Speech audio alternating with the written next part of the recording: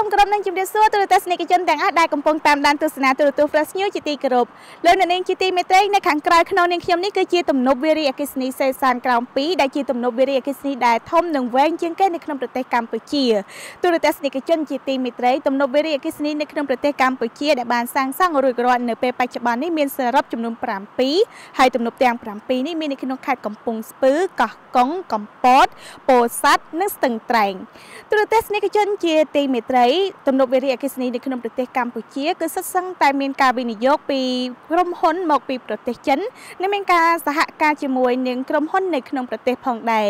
ទូរទស្សនិកជនជាទីមេត្រីទំនប់វារីអគ្គិសនីក្រៅពីជាប្រភពធម្មពលដ៏សំខាន់ក្នុងការវិវត្តសេដ្ឋកិច្ចប្រទេសជាតិនោះទំនប់វារីអគ្គិសនីក៏ជាផ្នែកមួយនៅក្នុងការអភិរក្សធនធានធម្មជាតិក៏ដូចជាថែរក្សាបរិស្ថាននៅតំបន់នៃទំនប់វារីអគ្គិសនីផងដែរ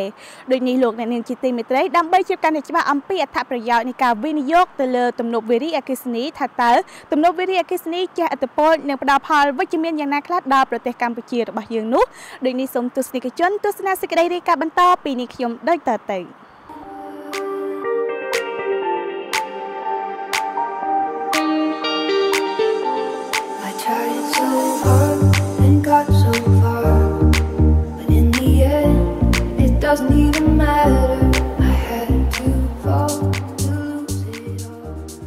សនីគឺជាផ្នែកមួយដ៏សំខាន់បំផុតនៅក្នុងការអភិវឌ្ឍប្រទេសដូចនេះហើយទើបបណ្ដាប្រទេសនីមួយៗតែងតែព្យាយាមបង្កើនធមពលអគ្គិសនីរបស់ខ្លួនឲ្យមានច្រើននិងមានតម្លៃទាបដើម្បីឆ្លើយតបទៅនឹងតម្រូវការរបស់ប្រជាពលរដ្ឋក៏ដូចជាកំណើនរោងចក្រសហគ្រាសធមពលអគ្គិសនីត្រូវបានគេទាញយកពីច្រើនប្រភពដែលមានដូចជាទំនប់វារីអគ្គិសនីរោងចក្រអគ្គិសនីដែលដោយធមពលធ្យូងថ្មរោងចក្រអគ្គិសនីដែលដោយចំហេះប្រេងឥន្ធនៈ រោងចក្រផលិតធមពលដែលដោយជីវៈឧស្ម័នរោងចក្រផលិតធមពលដែលដោយធមពលនុយក្លេអ៊ែររោងចក្រធមពលដែលដោយពន្លឺព្រះអាទិត្យនិងរោងចក្រផលិតធមពលដែលដោយធមពលខ្យល់នៅក្នុងចំណោមរោងចក្រផលិតធមពលទាំងអស់ទំនប់វារីអគ្គិសនីត្រូវបានពិភពលោកចាត់ទុកជារោងចក្រផលិតធមពលដ៏បរិសុទ្ធបរិសុទ្ធក៏ព្រោះតែដំណើរការនៃការផលិតធមពលអគ្គិសនីរបស់វារីអគ្គិសនីមិនធ្វើឲ្យប៉ះពាល់ដល់បរិស្ថាន និងជាផ្នែកមួយនៃការគ្រប់គ្រងទឹកជំនន់ចំណាយថ្លៃដើមទាបជាងធម្មពលព្រះអាទិត្យនិងខ្យល់ហើយទំនប់វារីអគ្គិសនីមានអាយុកាលនៃការប្រើប្រាស់បានវែងដែលមានអាយុជាមធ្យមរហូតដល់100ឆ្នាំចំណែកនៅក្នុងប្រទេសកម្ពុជាគិតត្រឹមឆ្នាំ2019មានប្រភពធម្មពលសំខាន់សំខាន់ចំនួន2ធម្មពលអគ្គិសនីនៅក្នុងស្រុកនិងធម្មពលអគ្គិសនីទិញពីក្រៅប្រទេស ប្រភពធម្មពលអគ្គិសនីនៅក្នុងស្រុករួមមានទំនប់វារីអគ្គិសនីចំនួន7ដែលមានកម្លាំងផលិតសរុបចំនួន1328មេហ្គាវ៉ាត់រោងចក្រអគ្គិសនីដែលដោយធម្មពលធ្យូងថ្មចំនួន2មានកម្លាំងផលិតសរុបចំនួន640មេហ្គាវ៉ាត់រោងចក្រអគ្គិសនីដែលដោយចំហេះប្រេងខ្មៅមានកម្លាំងផលិតសរុបចំនួន274មេហ្គាវ៉ាត់រោងចក្រអគ្គិសនីដែលដោយពន្លឺព្រះអាទិត្យចំនួន2 មានកម្លាំងផលិតសរុបចំនួន90មេហ្គាវ៉ាត់និងអគ្គិសនីដែលដោយជីវៈឧស្ម័នមានកម្លាំងផលិតសរុបចំនួន56មេហ្គាវ៉ាត់បានធ្វើឲ្យធម្មពលអគ្គិសនីនៅក្នុងប្រទេសកម្ពុជាមានសរុបចំនួន2388មេហ្គាវ៉ាត់រីឯប្រភពធម្មពលអគ្គិសនីដែលកម្ពុជានាំចូលពីប្រទេសជិតខាងរួមមានប្រទេសថៃវៀតណាមនិងឡាវមានធម្មពលសរុបចំនួន442.5មេហ្គាវ៉ាត់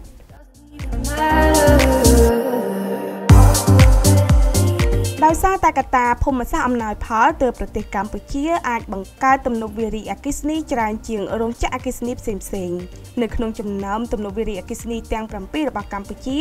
មានតែទំនប់វារីអគ្គិសនីសេសានក្រោម2នៅក្នុងខេត្តស្ទឹងត្រែងប៉ុណ្ណោះដែលមានការវិនិយោគរួមរវាងក្រុមហ៊ុនចិនក្រុមហ៊ុនកម្ពុជា និងក្រុមហ៊ុនវៀតណាម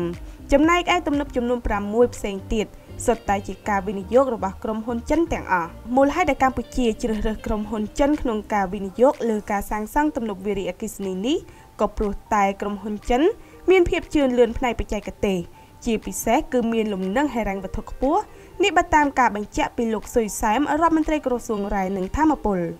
អញ្ចឹងក្រុមហ៊ុនចិនជាក្រុមហ៊ុនធំដែលវិនិយោគវិស័យ អគិសនីជាពិសេសវិរិយអគិសនីក៏ដូចជាខ្ជុំថ្មដែរនៅកម្ពុជាយើង ហើយអ្វីដែលខ្ញុំចាប់អារម្មណ៍ដែលខ្ញុំធ្វើការងារនេះរហូតមកអឺក្រុមហ៊ុនចិនជាក្រុមហ៊ុនទី1មានបច្ចេកទេសគ្រប់គ្រាន់ក្នុងការសាងសង់ទំនប់វិរិយអគិសនីជាក្រុមហ៊ុនរបស់រដ្ឋធំមានទុនគ្រប់គ្រាន់គឺបច្ចេកទេសទុនគ្រប់គ្រាន់និងទុនធានមនុស្សគ្រប់គ្រាន់ ខ្ញុំពេលសាងសង់តនុរាគិសនីតតៃតៃសេជ្រុំអីពេលហ្នឹងគឺជាពេលដែលយើងជួបវិបត្តិសេដ្ឋកិច្ចសកលប្រទេសយើងក៏ជួបដូចគ្នាប្រទេសចិនក៏ជួបពណ៌សកលទៅហើយខ្ញុំពេលហ្នឹងខ្ញុំបារម្ភណាស់ថា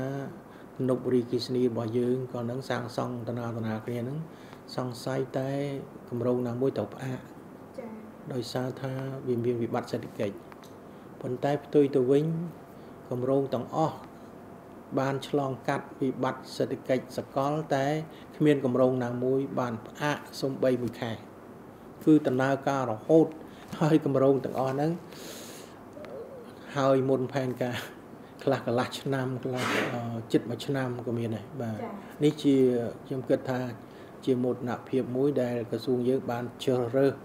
នៅក្រុមហ៊ុនដែលមាន លទ្ធភាពបច្ចេកទេសគ្រប់គ្រាន់មានរញ្ញវត្ថុគ្រប់គ្រាន់និងមានទុនធាននេះគ្រប់គ្រាន់ដើម្បីធ្វើការងារនេះហើយធ្វើបានជោគជ័យដែលយើងបានប្រើប្រាស់រហូតដល់សប្តាហ៍ថ្ងៃនេះ I tried so hard and got so far, but in the end, it doesn't even matter. I had to. គិតត្រឹមឆ្នាំ2019ប្រទេសកម្ពុជាមានទំនប់វារីអគ្គិសនីសរុបចំនួន7ដោយនៅក្នុងនោះរួមមានទំនប់វារីអគ្គិសនីសេសានក្រោម2ខេត្តស្ទឹងត្រែងដែលមានទំហំផលិតចំនួន400មេហ្គាវ៉ាត់ទំនប់វារីអគ្គិសនីឫស្សីជ្រុំខេត្តកោះកុងមានទំហំផលិតថាមពលចំនួន338មេហ្គាវ៉ាត់ទំនប់វារីអគ្គិសនីតាតៃខេត្តកោះកុងមានទំហំផលិតចំនួន246មេហ្គាវ៉ាត់ ទំនប់វារីអគ្គិសនីកំចាយខេត្តកំពត មានទំហំផលិតចំនួន194មេហ្គាវ៉ាត់ទំនប់វារីអគ្គិសនីអាតៃខេត្តពោធិ៍សាត់មានទំហំផលិតថាមពលចំនួន120មេហ្គាវ៉ាត់ទំនប់វារីអគ្គិសនីគិរីរម្យ3ខេត្តកោះកុងមានទំហំផលិតថាមពល18មេហ្គាវ៉ាត់និងទំនប់វារីអគ្គិសនីគិរីរម្យ1ខេត្តកោះកុងមានទំហំផលិតចំនួន12មេហ្គាវ៉ាត់ ដែលនាំឲ្យកម្ពុជាអាចទទួលបានថាមពលអគ្គិសនីចំនួន1328មេហ្គាវ៉ាត់ពីទំនប់វារីអគ្គិសនីច្រើនជាងចំនួនថាមពលអគ្គិសនីពីរោងចក្រថាមពលដទៃទៀតដែលកម្ពុជាមានត្រឹមតែ1060មេហ្គាវ៉ាត់តែប៉ុណ្ណោះបើតាមការយល់ឃើញពីអ្នកជំនាញផ្នែកសេដ្ឋកិច្ចលោកបណ្ឌិតគីសេរីវត្តបានឲ្យដឹងថាជាទូទៅប្រទេសនីមួយៗតែងតែព្យាយាមស្វែងរកប្រភពថាមពលអគ្គិសនីដែលមានតម្លៃទាប និងអាចផលិតធម្មពលបានច្រើនតួយ៉ាងដូចជារោងចក្រធម្មពលនុយក្លេអ៊ែរជាដើមប៉ុន្តែក្រៅពីកត្តាធនធានមនុស្សភូមិសាស្ត្រប្រទេសកម្ពុជាក៏មិនអំណោយផលដល់ការសាងសង់រោងចក្រធម្មពលនុយក្លេអ៊ែរនោះឡើយហេតុដូចនេះកម្ពុជាមិនអាចដាក់រោងចក្រផលិតធម្មពលនុយក្លេអ៊ែរនៅតាមបន្ទាត់ព្រំដែនហើយរឹតតែមិនអាចដាក់នៅដែនសមុទ្ររបស់កម្ពុជានោះដែរព្រោះអាចប៉ះពាល់ដល់ទំនាក់ទំនងជាមួយនឹងប្រទេសជិតខាង ប៉ះពាល់ដល់ទេសចរនិងមានហានិភ័យខ្ពស់លើសុវត្ថិភាពបរិស្ថានចឹង vary អគិសនីគឺជាកត្តាសំខាន់សម្រាប់អភិវឌ្ឍអគិសនីនៅកម្ពុជាបាទអញ្ចឹងអគិសនី vary អគិសនីនៅកម្ពុជាហ្នឹងត្រូវការចាំបាច់ព្រោះ vary អគិសនីយើងអត់មានចំណាយអីតែចំណាយតែការសាងសង់ទេសាងសង់រួចហើយគឺយើងបង្ហូរទឹកចូលចំណាយតែប្រព័ន្ធនៃការគ្រប់គ្រងយើងនឹងផលិតអគិសនីបានដោយមិនអស់ថ្លៃដើមខ្ពស់ទេ ដើម្បីជាផ្នែកមួយនៃការរួមចំណែកនៅក្នុងការអភិវឌ្ឍអគិសនីនៅកម្ពុជាដើម្បីឆ្លើយតបជាមួយនឹងកំណើនសេដ្ឋកិច្ចយ៉ាងឆាប់រហ័សរបស់កម្ពុជាលោកជើវិនសឹងអគ្គនាយករងក្រុមហ៊ុន Cambodian Tatai Hydro Power Limited ដែលបានសាងសង់ទំនប់វារីអគ្គិសនីតាតៃហើយជាទំនប់វារីអគ្គិសនីធំលំដាប់ទី3នៅក្នុងប្រទេសកម្ពុជា បានបង្ហាញពីចំណាប់អារម្មណ៍របស់លោកនៅក្នុងការវិនិយោគនៅក្នុងប្រទេសកម្ពុជាយ៉ាងដូចនេះថា 我是我来的时间不长，我是呃二零一三年到柬埔寨的，然后我们公司是二零ក្រោមការដឹកនាំរបស់សម្ដេចហ៊ុនសែនបានធ្វើឲ្យនយោបាយប្រទេសកម្ពុជាមានស្ថិរភាពហើយធ្វើឲ្យជីវភាពរបស់ប្រជាពលរដ្ឋមានការកើនឡើងហើយសេដ្ឋកិច្ច ជាតិមានការរីកចម្រើនទន្ទឹមការកើនឡើងនេះតម្រូវការធម្មពលក៏កើនឡើងផងដែរកត្តាទាំងនេះហើយដែលធ្វើឲ្យក្រុមហ៊ុនរបស់ខ្ញុំមានការចាប់អារម្មណ៍ក្នុងការកសាងទំនប់វារីអគ្គិសនីនៅកម្ពុជាហើយនៅចន្លោះឆ្នាំ2002ដល់ឆ្នាំ2018ពលគឺរយៈពេល16ឆ្នាំការកើនឡើងនៃប្រភពធម្មពលនៅកម្ពុជាគឺមានការកើនឡើងប្រមាណ15ដងហើយ។ ដូច្នេះខ្ញុំពិតជាមានមោទកភាពនិងរីករាយក្នុងការចូលរួមសាងសង់ទំនប់វារីអគ្គិសនីហើយបាននាំមកនូវបច្ចេកទេសគ្រឿងចក្ររបស់ប្រទេសចិនមកសាងសង់ក្នុងការអភិវឌ្ឍសេដ្ឋកិច្ចក៏ដូចជាទំនប់វារីអគ្គិសនី也有七分之一、六分之一在这里度过了，而且我们还会坚持下去。បន្ទាប់ពីបានដំណើរការផលិតធម្មពលអស់រយៈពេល4ឆ្នាំកន្លងមក ប្រកបដោយភាពជោគជ័យក្រុមហ៊ុន Cambodian Tata Hydro Power Limited មានគម្រោងបង្កើតទំនប់វារីអគ្គិសនីថ្មីមួយបន្ថែមទៀតនៅក្នុងតំបន់ក្បែរនោះដើម្បីឆ្លើយតបទៅនឹងកំណើនសេដ្ឋកិច្ចរបស់កម្ពុជាហើយការកសាងទំនប់វារីអគ្គិសនីថ្មីនេះត្រូវបានលោកអគ្គនាយករងរបស់ក្រុមហ៊ុន Cambodian Tata Hydro Power Limited រំពឹងថានឹងអាចបញ្ចប់នៅចុងឆ្នាំ2025 ការដែលធ្វើឲ្យក្រុមហ៊ុនដ៏ធំមួយនេះហ៊ានបន្ថែមទុនវិនិយោគនៅក្នុងការសាងសង់ទំនប់វារីអគ្គិសនីថ្មីមួយទៀតនៅកម្ពុជាក៏ព្រោះតែកម្ពុជាមានដំណាភាពនិងមានយុត្តិធម៌នៅក្នុងការដេញថ្លៃគម្រោងផ្សេងៗ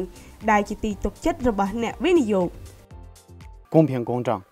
公平公正因为每一个重大的项目ចំពោះការដេញថ្លៃគឺពិតជាដំណាភាពនិងយុត្តិធម៌ដោយសារតែមុនពេលយើងសាងសង់ទំនប់វារីអគ្គិសនីយើងបានសិក្សាមុនហើយក្រុមហ៊ុនដទៃទៀតក៏បានសិក្សាមុនដែរទើបយើងយកការសិក្សានោះទៅដាក់ឲ្យខាងអគ្គិសនីកម្ពុជាឬខាងរដ្ឋាភិបាលជាអ្នកវិនិច្ឆ័យដូច្នេះសរុបជារួមដំណើរការប្រកបដោយយុត្តិធម៌និងមានដំណាភាព ហើយនៅក្នុងដំណើរការសិក្សានេះយើងមានការសរសេររបាយការណ៍និងការស្រាវជ្រាវលក្ខណៈបច្ចេកទេសត្រឹមត្រូវទើបគេយកមកប្រៀបធៀបគ្នារវាងក្រុមហ៊ុនរបស់យើងជាមួយនឹង EDC គឺមានកិច្ចព្រមព្រៀងត្រឹមត្រូវក្នុងការទិញនិងផ្គត់ផ្គង់ធម្មពលហើយជាមួយក្រុមហ៊ុនដទៃទៀតក៏មានដូចគ្នាដែរដូច្នេះពួកយើងគឺមានយុត្តិធម៌និងដំណាភាពជាមួយនឹងការទិញលក់ធម្មពលអគ្គិសនីនេះ对我们这个 EDC 和我们这个发电企业来说也是公平的。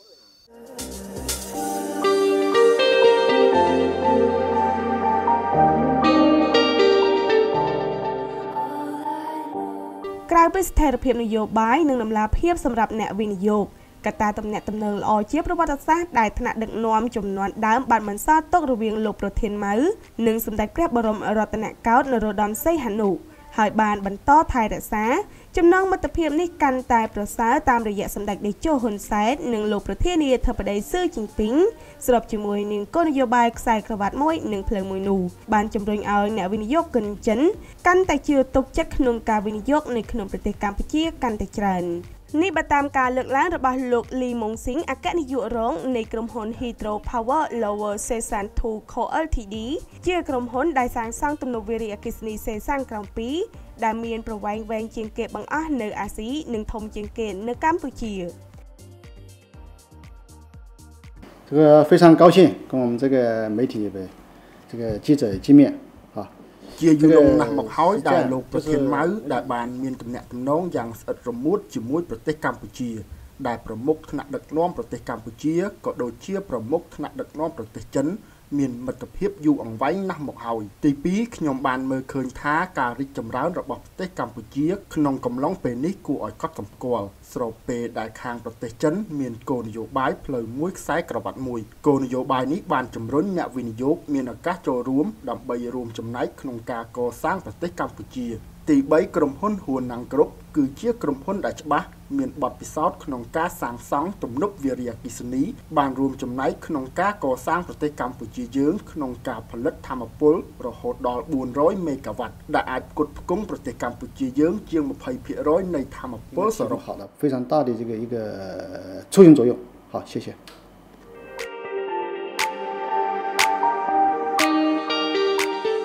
ជាក្រុមហ៊ុនដែលមានបទពិសោធន៍ច្រើនឆ្នាំនិងបានសាងសង់ទំនប់វារីអគ្គិសនីជាច្រើនទីតាំងនៅក្នុងប្រទេសចិនក៏ដូចជាប្រទេសអាស៊ានផ្សេងទៀតនោះលោកលីម៉ុងស៊ីងអគ្គនាយករងនៃក្រុមហ៊ុន Hydro Power Lower Sesan Co Ltd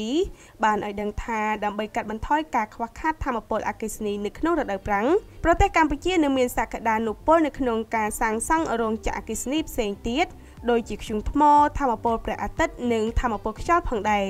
យ៉ាងណាមិញរោងចក្រធ្យូងថ្ម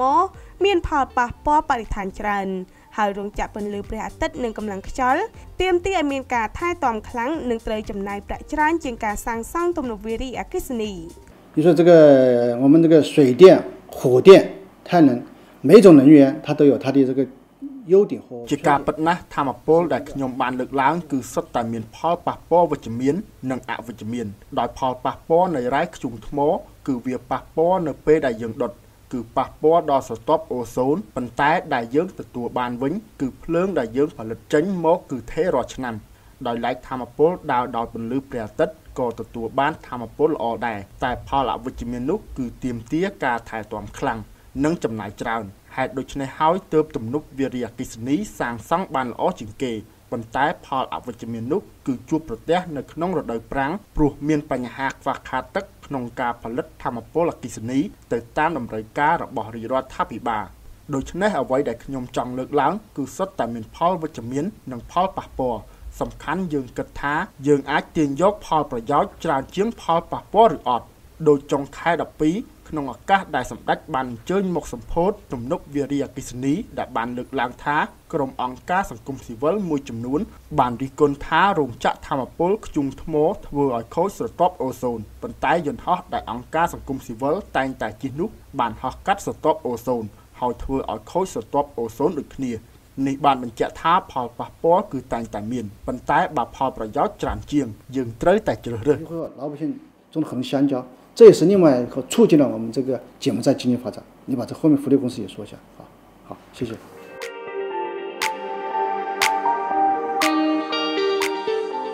ដោយសារតែប្រទេសកម្ពុជាអនុវត្តតាមបទដ្ឋាន BOT ដែលមានន័យថាការសាងសង់ដំណើរការនិងការផ្ទេរត្រឡប់មកវិញដោយនេះទោះបីជាការវិនិយោគត្រូវធ្វើឡើងដោយចំណាយដើមទុនរាប់រយពាន់លានដុល្លារយ៉ាងណាក្តីក៏ក្រុមហ៊ុនវិនិយោគលើទំនប់វារីអគ្គិសនីទាំងអស់ ត្រូវប្រកល់ត្រឡប់មកវិញដល់រដ្ឋាភិបាលកម្ពុជា ទៅតាមកិច្ចសន្យារវាងក្រុមហ៊ុននិងរដ្ឋាភិបាលកម្ពុជា ដែលមិនលើសពី45ឆ្នាំឡើយ។ហើយដូចនេះហើយទៅបណ្ដាទំនប់វារីអគ្គិសនីនីមួយៗតែងតែចង់បានបុគ្គលិកជាជនជាតិខ្មែរដើម្បីធ្វើការអមជាមួយនឹងវិស្វករជនជាតិចិន ដើម្បីអាចជឿជាក់ថាក្រោយពីបញ្ចប់កិច្ចសន្យារវាងក្រុមហ៊ុននិងរដ្ឋាភិបាល កម្ពុជានឹងមានអ្នកជំនាញគ្រប់គ្រាន់នៅក្នុងការកាន់កាប់ទំនប់វារីអគ្គិសនីនីមួយៗ តួយ៉ាងទំនប់វារីអគ្គិសនីសេសានក្រោម2បានបង្កើតនៅកម្មវិធីផ្ដល់អាហារូបករណ៍ដល់សិស្សនិស្សិតនៅក្នុងខេត្តស្ទឹងត្រែងផ្ទាល់ដើម្បីមានឱកាសនិងលទ្ធភាពបន្តការសិក្សាជំនាញវិស្វករអគ្គិសនីហើយត្រឡប់មកបំពេញការងារនៅក្នុងទំនប់វារីអគ្គិសនី ដែលស្ថិតនៅក្នុងទឹកដីនៃខេត្តស្ទឹងត្រែងវិញ នេះបើតាមការបញ្ជាក់ពីលោកលីម៉ុងស៊ីងអគ្គនាយករងនៃក្រុមហ៊ុន Hydro Power Lower Sesan Co Ltd ដើម្បីឆ្លើយតបទៅនឹងតម្រូវការបុគ្គលិកជំនាញទៅតាមទំនប់វារីអគ្គិសនីនីមួយៗលោកសុយសាមរដ្ឋមន្ត្រីក្រសួងរាយនឹងធម្មពលបានអំពាវនាវដល់សិស្សនិស្សិតទាំងអស់ដែលមានសមត្ថភាពនៅក្នុងការសិក្សាជំនាញវិស្វករអគ្គិសនី និងជំនាញរាយផ្សេងផ្សេងទៀតដើម្បីចូលរួមកសាងប្រទេសកម្ពុជា ដែលកំពុងមានតម្រូវការវិស្វករជំនាញជាច្រើន ការពិតនៅតាមវិរិយអគ្គិសនីរបស់យើងសប្តាហ៍ថ្ងៃគឺមានក្រុមហ៊ុនរបស់ចិនឬក៏ប្រទេសណាដែលគេធ្វើគឺក្រុមហ៊ុនគេបុគ្គលិករបស់គេ គេនៅថែទាំគេនៅដំណើរការគម្រោងនីមួយនីមួយប៉ុន្តែគេក៏សនំពរដល់យើងឲ្យបញ្ជូនអ្នកជំនាញយើងដើម្បីទៅអមជាមួយគេរៀនសូត្រគេបដោះបដាលទាំងនៅទីតាំងជាក់ស្ដែងក៏ដូចជាបញ្ជូនចេញទៅរៀនសូត្រនៅ ស្រុកគេដែរដើម្បីឲ្យមានការចេះដឹងហើយមកធ្វើការជាមួយគ្នាថ្ងៃក្រោយទៅវាងាយស្រួលការប្រគល់ឲ្យយើងអឺបញ្ហានេះសំខាន់ណាស់ដោយខ្ញុំរៀបរាប់បាញ់មិញថាតនុបរីគិសនីយើង ដែលយើងធ្វើ6 7ហើយនេះត្រូវចប់ក្នុងប្រហែលឆ្នាំខាងមុខនេះដែលគេត្រូវផ្ទេមឲ្យវិញខ្ញុំរៀបរាប់ជូនហើយពេលដែលគេផ្ទេមកឲ្យយើងយើងត្រូវតែទទួលធ្វើជាម្ចាស់ អ្នកណាធ្វើម្ចាស់ចា៎គឺកូនចៅយើងនឹងហើយ ជាបរិវត្តយើងនឹងហើយចឹងហើយខ្ញុំមាន តែអំពាវនាវទេដល់យុវជនរបស់យើងជំនាន់ក្រោយសូមឲ្យយកចិត្តទុកដាក់គិតគូរសិក្សាពីការងារបច្ចេកទេសធម្មពលគិសនីដើម្បីមកជ្រោងវិស័យធម្មពលគិសនីនេះឲ្យមាននិរន្តរភាព និងស្ថិរភាពតទៅដើម្បី អភិវឌ្ឍស្រុកទេសរបស់យើង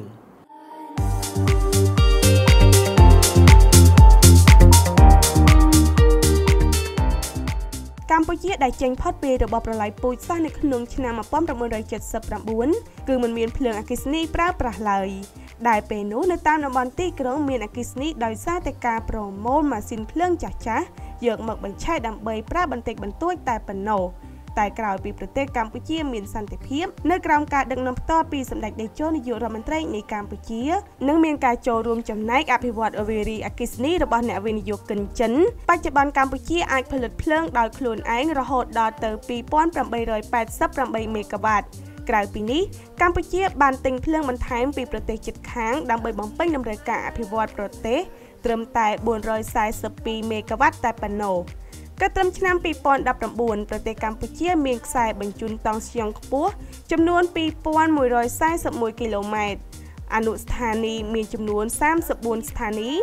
ដែលក្របដណ្ដប់នៅលើរាជធានីខេត្តចំនួន21ដែលខេត្ត4ផ្សេងទៀតនៅពេលបច្ចុប្បន្ននេះកំពុងតែប្រើប្រាស់ខ្សែបញ្ជូនរឿងសិន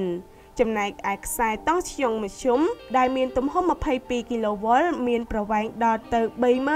34090គីឡូម៉ែត្ររីឯ Transvo ចែកចាយមានចំនួន18209គ្រឿងដោយឡែកតង់ស្យុងទៀបឬខ្សែភ្លើងតចូលនៅក្នុងផ្ទះមានប្រវែង36474គីឡូម៉ែត្រ It doesn't even matter. ចំនួនខ្សែតង់ស្យុងទៀបដ៏ច្រើនគីឡូម៉ែត្រនេះបានគ្របដណ្ដប់ភូមិចំនួន13040ភូមិនៃចំនួនភូមិសរុបចំនួន14168ភូមិចំនួននេះស្មើនឹង90%នៃចំនួនភូមិសរុបនៅក្នុងប្រទេសកម្ពុជា ចំណែកឯ8%នៃភូមិទៀតតាមគម្រោងក្រសួងរាយនិងធម្មពលនឹងមានអគ្គិសនីប្រើប្រាស់គ្រប់ភូមិនៅក្នុងឆ្នាំ2020 ចំណែកឯផ្ទះប្រជាពលរដ្ឋនៅពេលបច្ចុប្បន្នមានផ្ទះចំនួន3លាន5សែន2ម៉ឺនខ្នងហើយមានអគ្គិសនីប្រើប្រាស់ចំនួន2លាន5សែន8ម៉ឺនខ្នងដែលស្មើនឹង73%នៃចំនួនផ្ទះសរុបតាមការព្យាករណ៍នៅក្នុងឆ្នាំ2030អគ្គិសនីនឹងមាន90%នៃចំនួនខ្នងផ្ទះរបស់ប្រជាពលរដ្ឋ